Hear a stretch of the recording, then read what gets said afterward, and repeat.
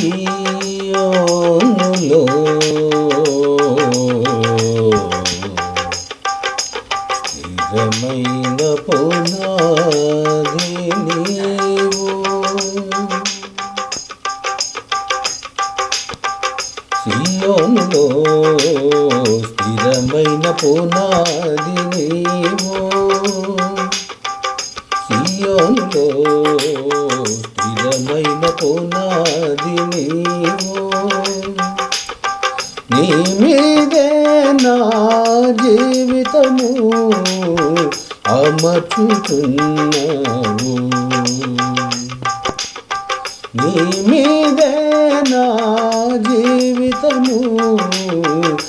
అమర్చుచున్నావు సియోనులో స్థిరమైన పునాది నీవు. సూర్యుడు లేని చంద్రుడు లేని చీకటి రాత్రులు లేనే లేని. సూర్యుడు లేని చంద్రుడు లేని చీకటి రాత్రులు లేనే లేని. ఆ దివ్య నగరిలో కాంతులను విరజిమ్మెదవా నాయే సయ్యా ఆ దివ్య నగరిలో కాంతులను విరజిమ్మెదవా నాయే సయ్యా సియోనులో స్థిరమైన పునాది నీవు.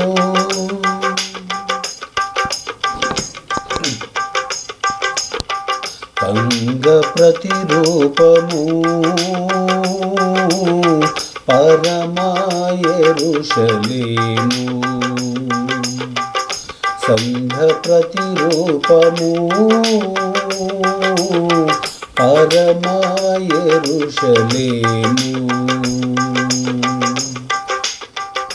సౌందర్య సీయోనులో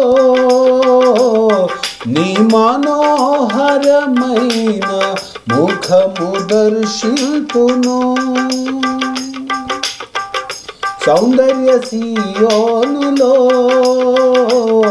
నీ మనోహరమైన ముఖము దర్శితును నీతోనే నా నివాసము నిత్యము ఆనందమే నీతోనే నా నివాసము నిత్యము ఆనందమే. సియోనులో స్థిరమైన పునాది నీవో. సియోనులో స్థిరమైన పునాది నీవో. అందరికీ వందనాలండి. దైవజనులు కౌందర దేవదానం గారు ఇప్పుడు మనకు దైవ సందేశాన్ని అందిస్తారు. వందనాలు. క్రీస్తునందు ప్రియమైన దేవుని సొత్తైన ప్రజలందరికీ ప్రార్థన టీవీ ప్రేక్షకులకి ప్రభును మన రక్షకుడైన యేసుక్రీస్తు వారి ఘనమైన ప్రశస్తమైన నామములో మీ అందరికీ శుభవందనాలు తెలియజేస్తున్నాను. బాగున్నారండి? చాలా మంచిది. మంచి చల్లని వాతావరణం చల్లని వేళ. ప్రభు మాట్లాడే సమయం ఈ సమయంలో మిమ్మల్ని ప్రేమపూర్వక ఆహ్వానాన్ని అందిస్తున్నాను రండి. మరి మీ హృదయమును దేవుని వైపు త్రిప్పండి. వాక్యము వైపునకు మన హృదయాలను మళ్ళించి అందులో ఉన్న సత్యాన్ని మనం గ్రహించాలని కోరుతూ మీ అందరినీ మళ్ళీ ప్రేమపూర్వక ఆహ్వానాన్ని అందిస్తున్నాను ఇక పరిశుద్ధ గ్రంథంలోనికి వెళ్దాం. వాక్యం లోతునకు వెళ్దాం. ప్రయాణం చేద్దాం. చూడండి ఒక వాక్యం మనం చదువుకుందాం. మత్తయ్య సువార్త మరి ఏడవ అధ్యాయంలో పదమూడవ వాక్యాన్ని మనం చదువుకుందాం. ఇరుకు ద్వారమున ప్రవేశించుడి.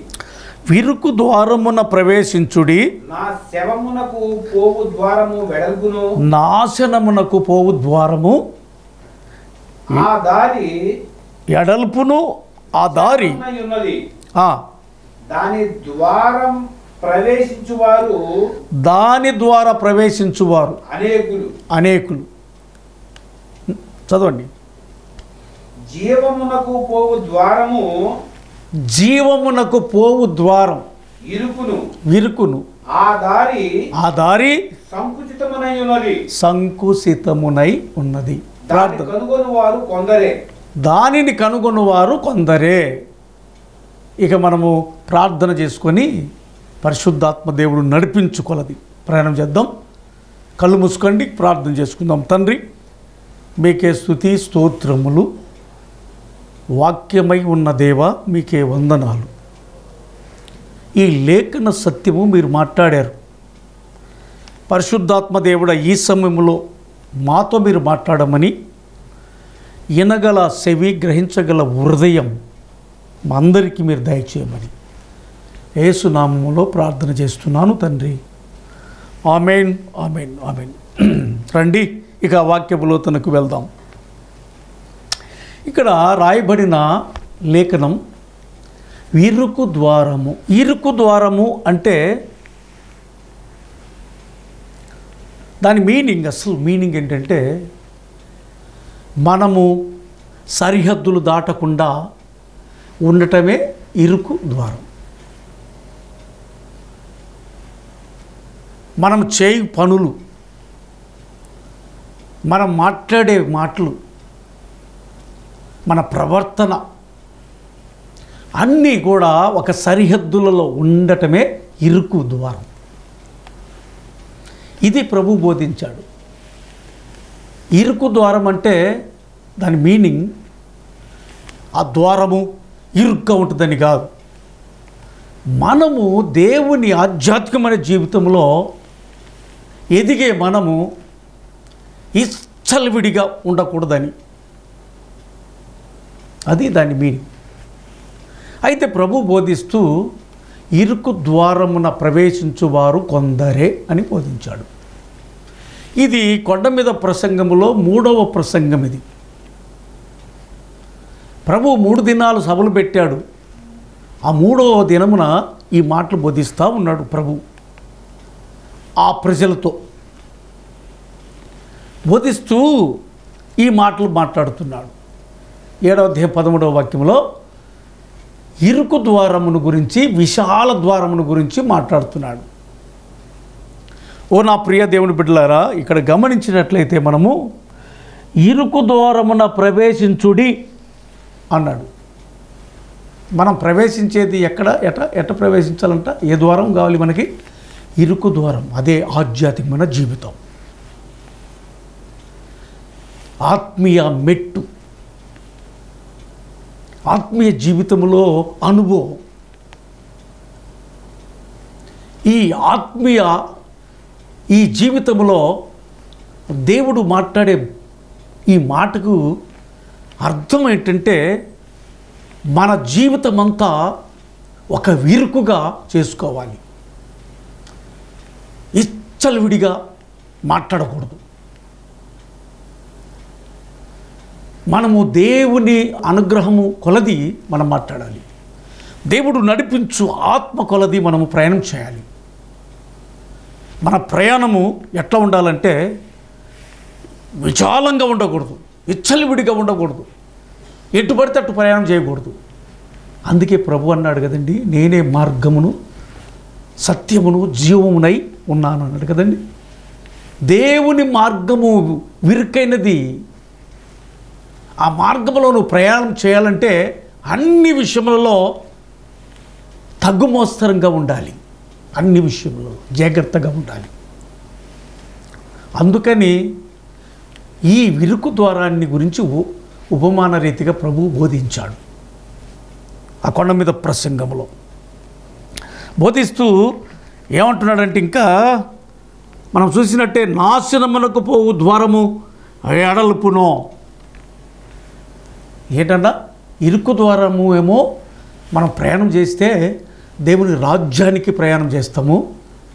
నాశనం అంటే నరకానికి పోయే ద్వారం అంట అది ఎడల్పుగా ఉంటుంది. ఆ ద్వారమున అనేకులు ప్రయాణం చేస్తారు. అంటే దాని అర్థం ఏంటంటే దేవుని కలిగి జీవించని వాళ్ళు ఈ విశాలమైన త్రోవలో ప్రయాణం చేస్తారు. ఈ ప్రయాణము విశాలంగా ఉంటుంది. ఎట్ల పడితే అటు క్రమం లేకుండా మర్యాద లేకుండా అక్రమమా? అక్రమంగా ప్రయాణం చేస్తారు. అందుకనే అది విశాలమైన మార్గంగా పోల్చాడు దేవుడు. ద్వారం అంటే ద్వారము కాదండి. అయితే ప్రభువు మాట్లాడుతూ ఏం మాట్లాడాడో ఇంకొకసారి చూడండి మరొకసారి.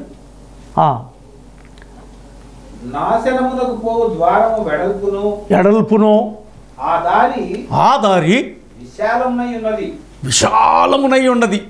దాని ద్వారా ప్రవేశించువారు అనేకులు. దాని ద్వారా ప్రవేశించువారు అనేకులు ఉంటారు అనేకులు ఉంటారు అయితే ఇరుకు ద్వారమున ప్రవేశించువారు కొందరే. కొందరే దేవుని యందు భయభక్తి కలిగి జీవించిన వాళ్ళు దేవుని అడుగుజాలలో ప్రయాణం చేసేవాళ్ళు. దేవుడు ఏం చెప్తే దాన్ని చేయువారు. దేవుని కొరకు తృష్ణ కొని ఉండు వాళ్ళు వాళ్ళు. వీళ్ళు ఏం చేస్తారంటే కొందరే ఇరుకు ద్వారమున ప్రవేశిస్తారు. ఆ ఇరుకు ద్వారం ప్రవేశించి పరలోక రాజ్యము చేరుతారు. పరలోక రాజ్యానికి మరి ఈ ఇరుకు ద్వారము ఉనుగుర్చి ఇట్లా ప్రయాణం చేయాలని స్థితిగతులు క్రమబద్ధంగా ఉండాలని పరిస్థితులు మనము క్రమబద్ధీకరించుకోవాలని అంత మాత్రమే కాదు.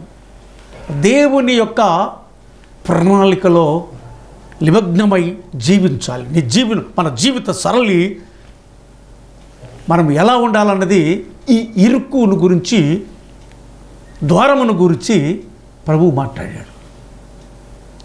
మనము ప్రయాణము చేసే పరిస్థితులు మనం చూసే పరిస్థితులు మనం మాట్లాడే పరిస్థితులు మన మనము ఏదైతే చేస్తామో మనం చేసే ప్రతి పనిలో ప్రతి సేవలో తగ్గుమోస్తరంగా మనము ఉండాలి అని. అంతేగాని విచ్చలిబడిగా ఉండకూడదు అని బోధించాడు. అంత మాత్రమే కాకుండా ప్రియా నా ప్రియ సంగమా ఇక్కడ బోధిస్తూ ఆ, దానికి అనుగుణ వారు కొందరేనని చెప్పేసి బోధించాడు. అంటే ఈ లోకంలో మనం దేవుని కనుగొనాలి అనేది బోధించాడు. దేవుణ్ణి కనుగొనాలంటే ప్రియ సంగమ మనం ఎలా ఉండాలంటే మన జీవితము తగ్గించబడి ఉండాలి. తగ్గించుకొని మనం జీవించాలి. ఎక్కడ కూడా దేవునికి అయిష్టమైన పనులు చేయకూడదు. దేవునికి ఇష్టానుసారంగా జీవించాలి. దేవునికి ఇష్టులై ఉండాలి. ఈ భూలోక యాద మన భూలోకంలో జీవించే మనము దేవునికి ఇష్టులై ఉంటే వారే ఇరుకు ద్వారమున ప్రవేశించు వాళ్ళు దేవునికి అయిష్టంగా జీవించు వాళ్ళు విశాల ద్వారమున ప్రవేశిస్తారు వాళ్ళు. వారు దేవుడు అంటే తెలియదు భక్తి అంటే ఏంటో తెలియదు. వారి ప్రయాణం అంతా విశాలము విశాలంగా. ఇక్కడే భూలోకములే అంతా భూలోకములే అనుకొని ప్రయాణం చేస్తారు. పరలోక రాజ్యం ఉందని ఆ రాజ్యం చేరాలని వాళ్ళకి అర్థము అవ్వదు. వారి జీవిత సరళి ఈ లోకములే అన్నీ అనుభవించాలి. ఈ లోకములే అనుకుంటున్నారు. నో ఈ లోకంలో జీవించు కాలం చాలా కొద్ది కాలం. శాశ్వత కాలము జీవించే కాలం పరలోక రాజ్యం ఉంది. దాని గురించి మనం ఈ లోకములో ఏ మార్గంలో ప్రయాణం చేయాలన్నది బోధించాడు ప్రభు. లూకాసు వార్త పదమూడో అధ్యాయంలో మనం చూసినట్లయితే అక్కడ కొన్ని మాటలు ఉన్నాయి. చూడండి లూకాసు వార్త పదమూడు అధ్యాయంలో ఇరవై నాలుగో వాక్యము చదువుకుందాము. ఆయన వారిని చూచి ఆయన వారిని చూచి ఇరుకు ద్వారమున ప్రవేశింప పోరాడుడి. ఆయన వారిని చూసి జన సమూహమును చూసి ఆ కొండ మీద ప్రసంగం చేసేటప్పుడు ఆ బహుజన సమూహములు వేల మంది జనులు ఉన్నారు వారిని చూసి నా ప్రభువు బోధిస్తూ ఏమన్నాడంటే ద్వారమున ప్రవేశింప పోరాడుడి. ఇరుకు ద్వారమున ప్ర- ప్రవేశించటానికి పోరాడ పోరాటం చేయండి అంటున్నాడు. అనేకులు ప్రవేశింపజూతురు గాని అనేకులు ప్రవేశింపచూతురు కానీ వారి వలన కాదని వారి వలన కాదని మీతో చెప్పుచున్నాను. మీతో చెప్పుచున్నాను. మీతో చెప్పుచున్నాను. వారి అనేక మంది కూడా ఈ ఈ ఇరుకు ద్వారమున ప్రవేశించి దేవుని రాజ్యం చేరాలని ప్రయాసపడతారు కానీ వారు సగము కొంత కొంత దూరం ప్రయాణం చేసి ఈ ఇరుకు ద్వారము దీంట్లో చాలా ఇరుగ్గా ఉంది నాకని వాళ్ళు ఏం చేస్తారంటే విశాల ద్వారములోనికి ప్రవేశిస్తారు. మార్గం తప్పిపోతారు. దాని అర్థం ఏంటంటే మార్గం తప్పిపోవటం అంటే ఏంటంటే ఆధ్యాత్మిక జీవితం విడిచిపెట్టేసి అన్యాయంగా జీవించటం అక్రమంగా జీవించటం. ఇరుకు దూరం ప్రవేశించాలని కోరిక ఉంటుంది. ఎవరు కూడా దేవుని రాజ్యానికి వారసులం అవ్వాలి దేవుని రాజ్యంలో ప్రవేశించాలి ఇరుకు దూరమున ప్రవేశించాలి. ప్రభు బోధను అంగీకరించాలి అని ఉంటుంది కోరిక. కానీ ప్రయాణించడానికి కొంత ఏకీభవిస్తారు.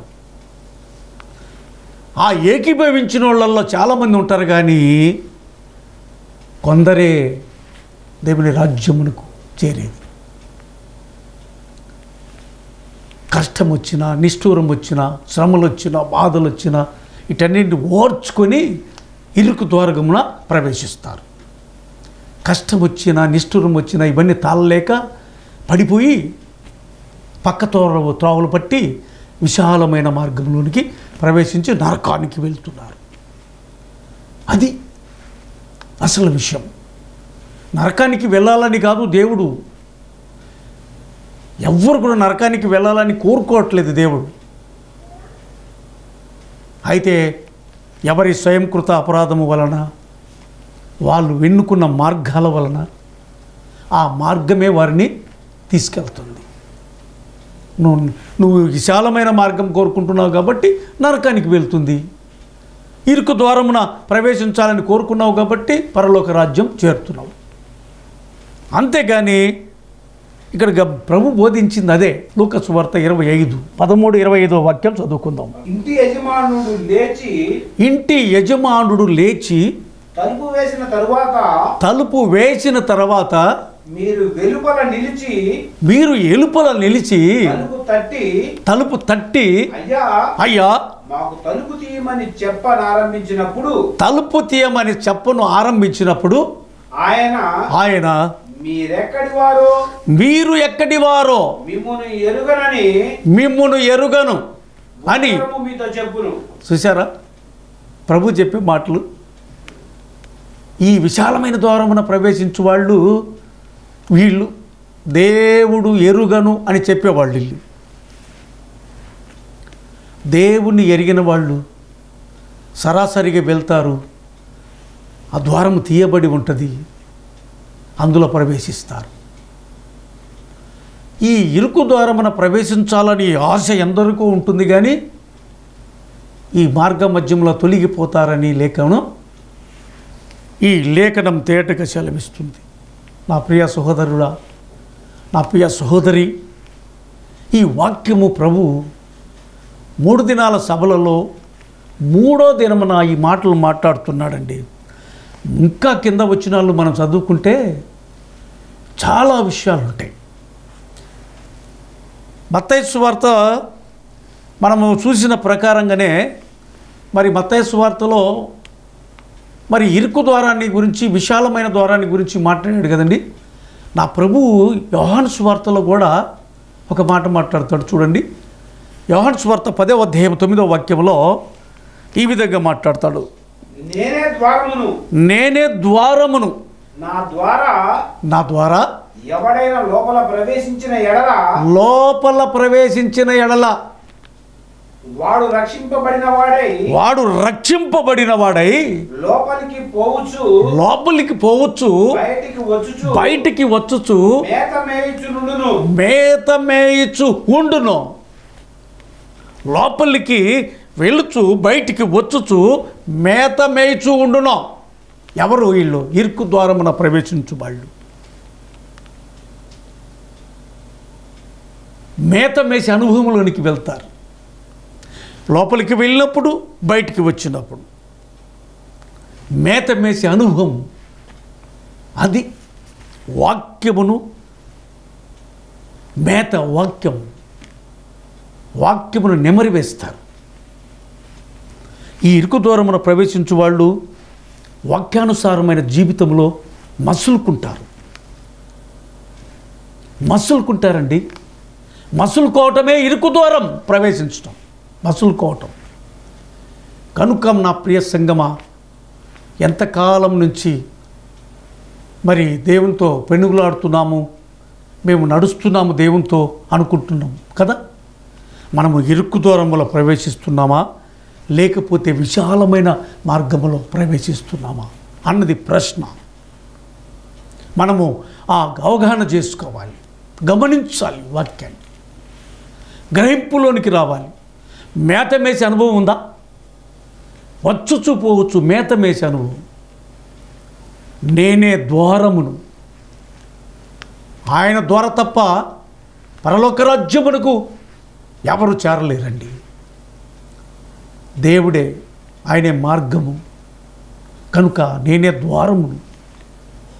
అయితే మనమేం చేయాలంటే మనము దేవునితో సత్సంబంధం కలిగి దేవునితో రిలేషన్ దేవునితో మనకున్న వాటిని మనము ఇడిచిపెట్టకూడదు కలిగిన అన్ని గట్టిగా పట్టుకొని ఉన్నామంటాడు ప్రకటన గ్రంథం ఇరవై రెండో అధ్యాయంలో.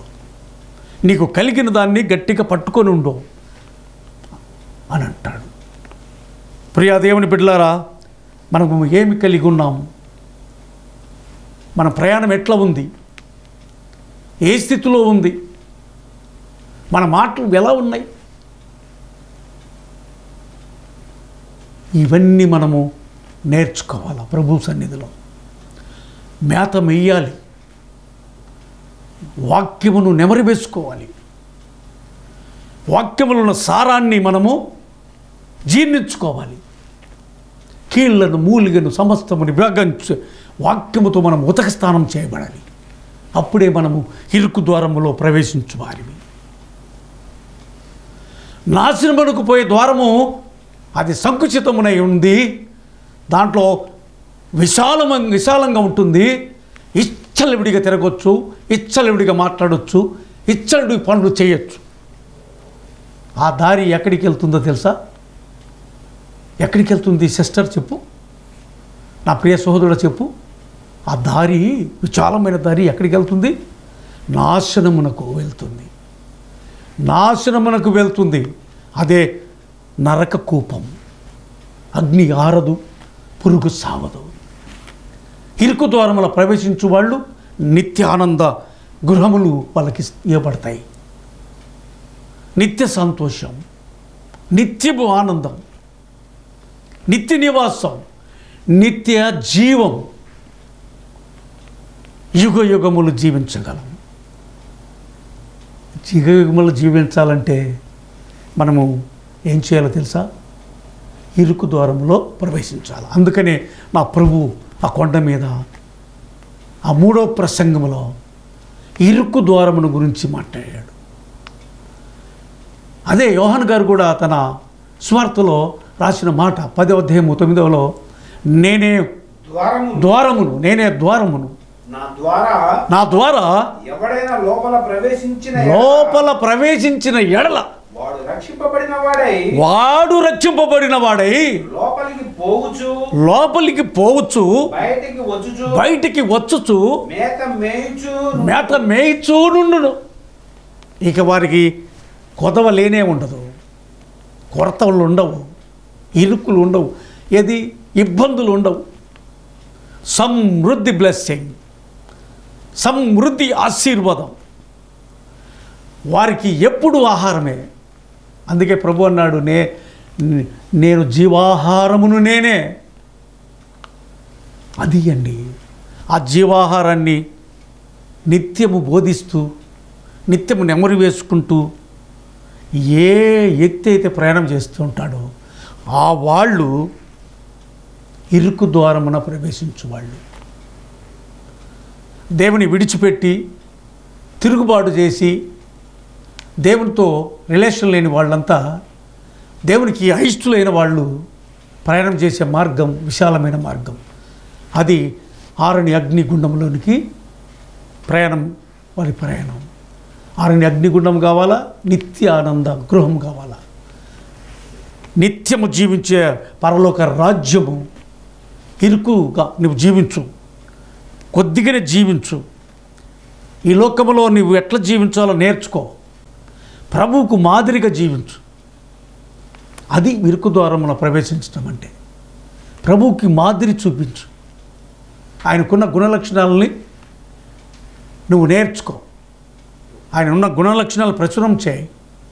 దేవునిలో జీవించు. దేవునితో పట్టుదల కలిగి జీవించు. అది ఇరుకు ద్వారములో ప్రవేశించడం అంటే. ఈ మీ ముందు ఇరు ఇరుకు ద్వారము విశాల ద్వారము దేవుడు మాట్లాడాడు. ఆ మాటలు మీతో పరిశుద్ధాత్మ దేవుడు ఇప్పుడు మాట్లాడాడు. ఏ స్థితిలో ఉన్నావో గ్రహించు. ఇప్పుడే మిక్కిలి అనుకూలమైన సమయం అని తెలుసుకొని నువ్వు రక్షణలోనికి వస్తే నిన్ను ఇరుకు ద్వారంలో ప్రవేశించడానికి దేవుడు అనుమతి ఇస్తాడు లేదా నువ్వు విశాలదారంలో ప్రవేశిస్తా ప్రవేశించాలని నువ్వు ఈ లోకంలో ప్రయాణం చేస్తున్నావా? ఆరని అగ్నిగుండము నరక కూపము దాంట్లో ఆరని పురుగు చావదు అగ్ని ఆరదు. నిత్యము అలా జీవిస్తావు నువ్వు. దేవుని రాజ్యములో నిత్యానందంగా జీవించే భాగ్యాన్ని కోల్పోతావు. ఇరుకు ద్వారములో ప్రవేశించు ఇక్కడికైనా ముంచుకోపోలేదు. ఇదే మిక్కిలి అనుకూలమైన సమయం రక్షణ దినం అని భావించి ప్రభు వైపు తిరుగు. మరి నీ పరిస్థితులని మార్చుకో తగ్గించుకొని అది తగ్గించుకున్నవాడు హెచ్చింపబడతాడు కాబట్టి తగ్గించుకొని ఇరుకు దూరంలో ప్రవేశించు. ఆయన మార్గము కనుక ఆ మార్గంలో ప్రవేశించు. దేవుని రాజ్యానికి వారసులు వారసత్వం సంపాదించుకో. అట్టి కృప అట్టి మహిమైశ్వర్యం దేవుడు మనకు అనుగ్రహించునుగాక దేవుడి వాక్యం దీవించి ఆశీర్వదించునుగాక విస్తరింపజేయునుగాక ప్రార్థన చేసుకుందాం. తలవంచండి కనులు ముచ్చండి మహాగణుడమైన తండ్రి మీకే స్థుతి స్తోత్రములు.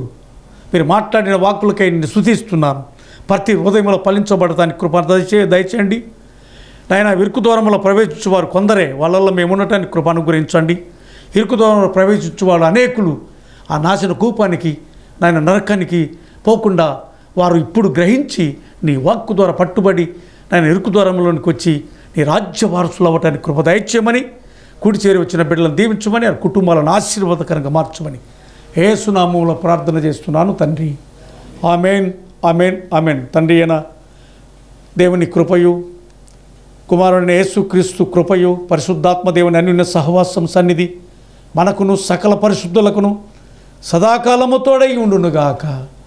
Amen amen amen. God bless వండి మీ అందరికీ వందనాలు. ఏ నీ మాటలు నిత్య జీవ పూటలు. ఏసయ్య మాటలు.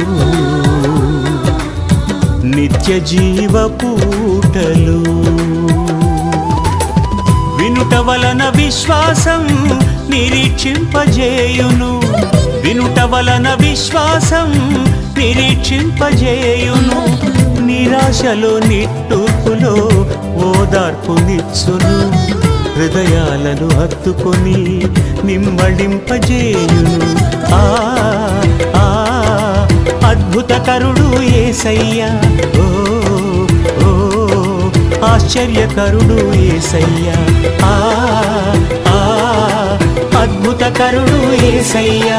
ఓ ఓ ఆశ్చర్యకరుడు ఏసయ్యా. ఏసయ్య నీ మాటలు నిత్య జీవ పూటలు